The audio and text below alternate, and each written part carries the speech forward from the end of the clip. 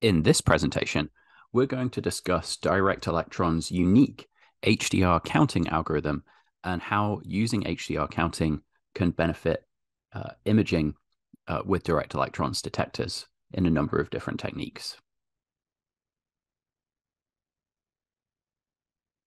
To explain what HDR counting is, I first need to explain two other concepts, counting on a detector and integrating a signal on a detector. So to explain these in a simple way, I'm going to use an analogy. Um, imagine instead of recording a signal made of electrons, you were tasked with counting the number of sweets in a jar. If there are relatively few sweets in the jar, and you can easily distinguish all of them, the best approach to do this accurately would be to manually count all of the sweets. Now, similarly, on a direct detector, if the signal is relatively sparse, so that you can see distinct puddles of charge where each individual electron has hit the sensor, the best strategy for um, reading off a signal is to use a computer algorithm to locate and count all of the electrons on every frame. And this is how counting algorithms typically work on direct detectors. An algorithm is applied to each blob of charge on the sensor, assigning it a count of one electron and a location. And you can sum a very large number of these sparse frames together until you have enough signal to form a usable image. Now, what if uh, there are so many uh, sweets in a jar um, that it's not practical to count all of them manually? Uh, in this scenario, a better strategy would be to weigh all of the sweets. And then, uh, if you wanted to figure out the number of sweets in the jar, you could divide by the weight of a typical sweet. Similarly, with direct detectors, um, if there's too intense of a signal incident on the detector so that you can't identify individual electrons, what you can do is you can measure the charge that's generated by those electrons in each pixel. And this is something we call integrating mode. And this is a, a more traditional way of running the detectors. Um, but integrating mode can handle much more intense signals than counting mode, potentially up to 100 times more intense. Uh, but there are some drawbacks. The integrating mode is subject to more different types of noise than the counting mode, uh, particularly one called Landau noise. Um, and so integrating mode images are noisier.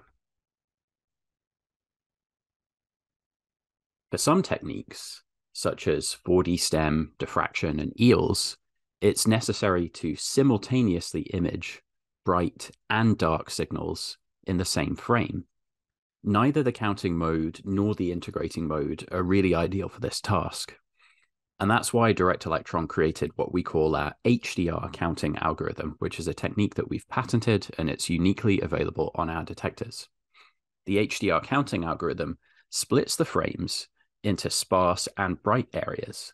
The sparse areas are processed in counting mode, while the bright areas are processed in integrating mode.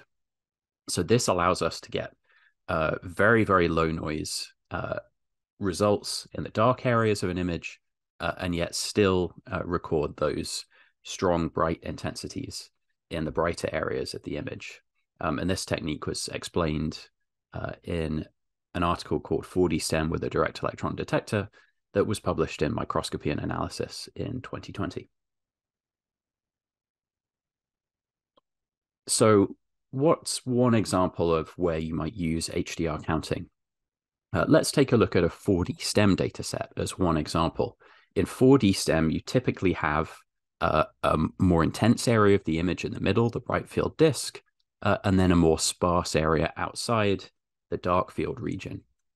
Uh, so in 4D STEM, if you wanted to make a virtual image uh, with the bright field disk, um, this is what that might look like, processing it in the two different traditional modes, integrating and counting. Uh, the specimen that we're looking at here is a standard cross grating. And you can see in the integrating mode, we get a, a reasonable bright field image of the grating. But in counting mode, uh, now I've scaled both of these images so they have the same median intensity in counting mode, um, we don't get a very good signal. Uh, the counting algorithm is basically not able to keep up with the rate at which the signal is coming in. It's losing information and the contrast gets all washed out. Now, what happens if we make an image from uh, a sparse region uh, in the frame? We uh, make a, a virtual dark field image. Now, in this case, we're imaging a material that's relatively thick and it produces a lot of signal uh, in the dark field area. Um, and so the two dark field images that we generate, may, the difference between them may not be um, immediately apparent uh, looking at a screenshot of the images in a PowerPoint slide. Um, but there is a significant difference between them.